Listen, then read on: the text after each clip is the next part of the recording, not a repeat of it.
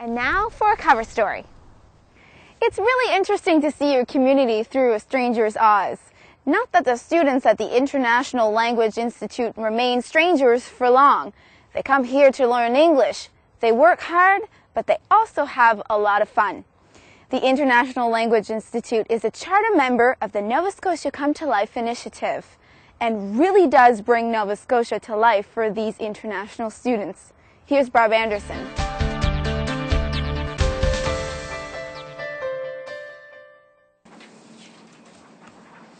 Students come to the International Language Institute from Korea, Saudi Arabia, Taiwan, Mexico, Brazil, China, the Middle East, and many other countries, all with a common goal to acquire the English language. Students are placed according to their level of English. And so our morning classes are integrated skills with grammar, vocabulary, as well as we use text, reading and listening text, but it's meant to extract the language from it to be more communicative. And our afternoon classes are based on um, reading and writing skills and then listening and speaking skills. So if somebody, for example, comes from a country where they have the opportunity to do a lot of speaking, but their reading skills are lower, they might be in a higher speaking class and a lower reading class. Or they might take an exam class as well, depending on what their needs for English are. But generally, the teachers are very good at classroom management. English remains the business language of the world. The economic well-being of a country depends in part on the ability to communicate with trading partners. For example, our Korean students need English for trade. Our Saudi Arabian students come to, to basically to North America for uh, university degrees. Uh, the Chinese students come for university degrees often in business because they're trading with English-speaking countries. So decide which of those websites are good for academic research. ILI is a full service school. Host families help in making a foreign student feel at home here. Still, it is a daunting experience. Angela traveled 20 hours to get here from her home in northeastern Russia. I arrived at the midnight, so I didn't stand anything. but next day, I liked it. Yeah, because I liked people when I knew them. The goals of these students are as individual as they are.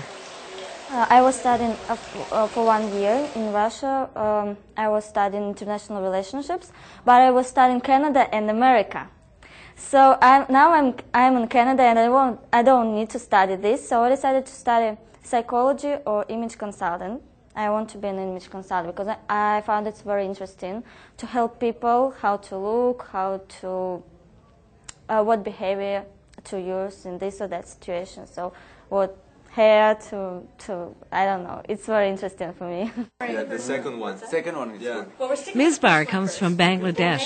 He plans to study accounting. Why do you think the first when I st- study there, and I, I d- don't feel that because teachers are so nice. They are very different way they teach us. That's why I feel good, and already I improve a lot. It's Friday afternoon, and a group of students are at a local brewery. They are heading out to a Mooseheads game at the Metro Center after this. A different social activity is scheduled every weekend. It's part of the program. Activities plug into the Nova Scotia experience. And the big advantage that we have is that we don't have a lot of schools here. And when a student is considering Canada, they're thinking, okay, if I go to Vancouver or Toronto, sure, there's lots of opportunity. It's a big city and it's an exciting place to be and visit and study. But just um, being much more Anglophone community here, then it's uh, um, a little less diverse and multicultural perhaps than other communities in Canada. And so I think uh, they feel like they're really uh, immersed in the language and surrounded with a real English community. Yeah, it's beautiful here. Uh, we really enjoy Nova Scotia, and especially people here are so friendly.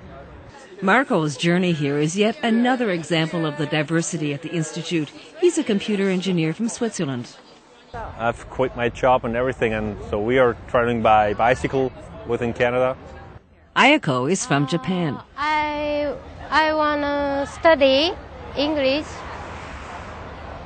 and uh, I wanna be Japanese teacher. Even on outings like this, the International Language School operates within very strict language perimeters, English only.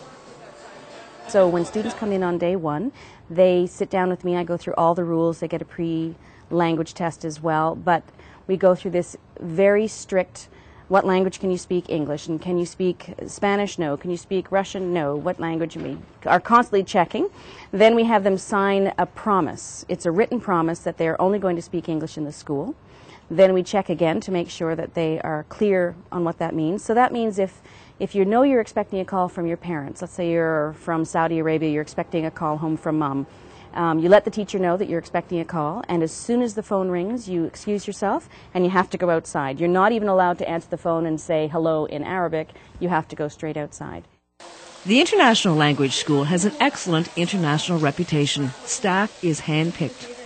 We're a teacher training school, and you know, um, I'm one of the teacher trainers as well as the director of the department, so that means that I get to see folks when they're actually on the course, and I also get to look at who would be good for our team. Sometimes, Sandy says, the teachers here can barely speak English by the end of the week. They become walking dictionaries.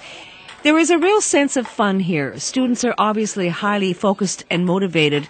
They are also really enjoying the International Language Institute program.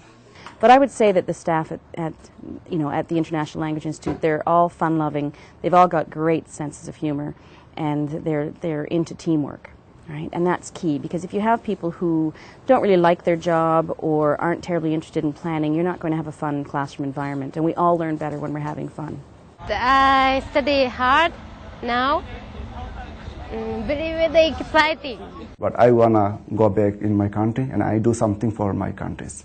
I hope that um, that my being in Canada will be very helpful. Uh, will, will help me in my future life. I hope so. I think so. Yeah, yeah. In Halifax, I'm Barb Anderson for Eastlink Magazine. As Barb mentioned in the story, the International Language Institute has a lot to offer Nova Scotians as well. If you're thinking of teaching English overseas, it's a good place to get your training and certification. Sports is next on Eastlink Magazine.